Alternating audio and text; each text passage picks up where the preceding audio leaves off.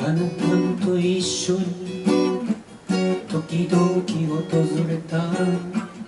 南の海でのあの思い出の場所。今でもここ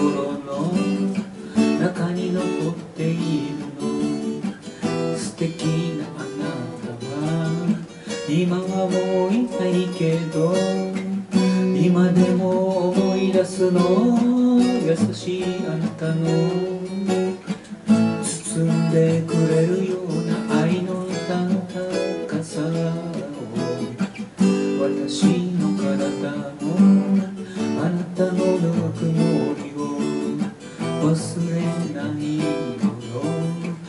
ずっとずっと。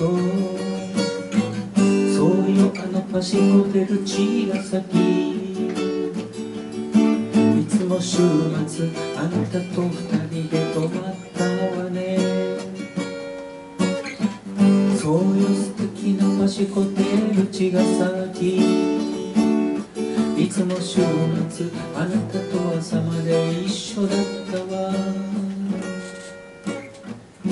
つまで経ってもあなたは心の中の素敵な神様いつも微笑んでくれているの。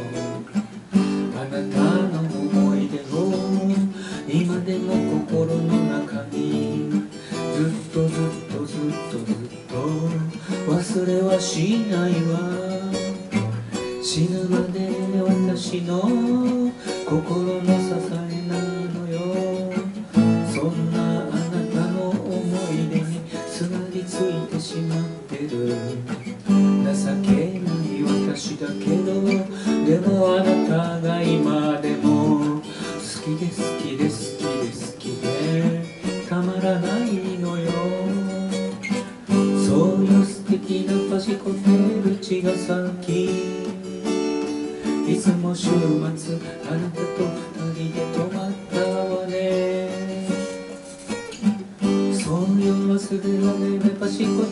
テル茅ヶ崎いつも二人で朝まで一緒だったわ。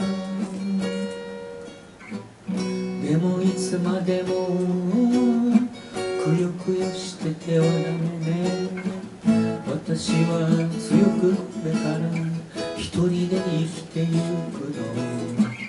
あなたの思い出を胸に留めておきながら。しっかり一歩ずつ歩いてゆくの。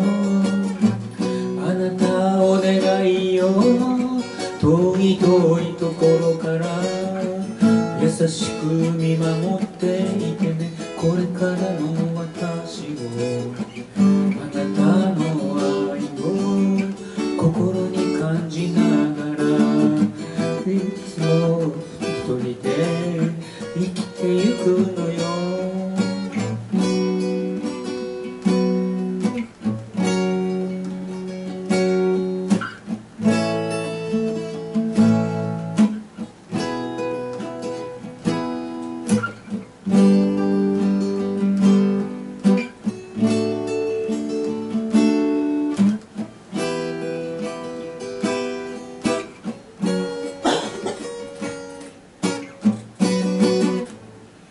兄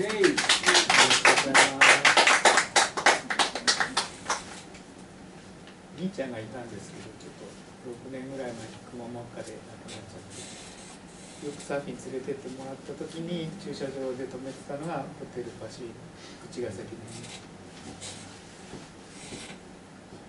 上原健がね加山雄三のお父さんですけど横井秀樹に売っちゃってその後赤坂のねホテルが火事になってそれで